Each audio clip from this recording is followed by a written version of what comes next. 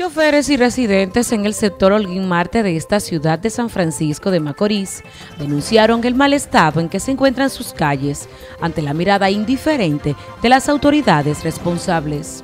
Aquí hay mucho polvo, escasez de agua que no se puede fregar la casa, que no hay agua. Las calles no sirven, están pésimas, mucho hoyo, mucho polvo, muy difícil. La cosa está muy difícil.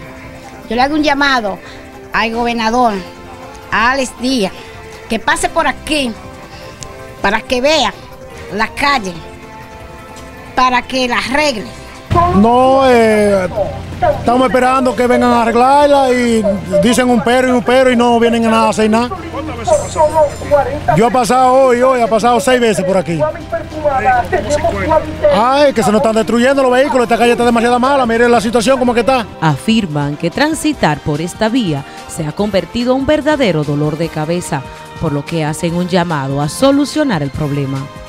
La muestra, como está esa calle ahí, esa calle cada día más, los moradores por ahí hacen todos los días una zanja de nuevo para echar el agua.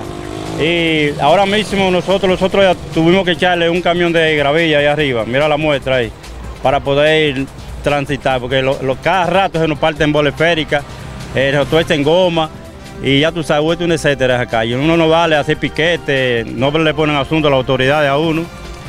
Y ya te ve la muestra. Eh, todos los días, todos los días uno, ya tú sabes, afanando con esos hoyos.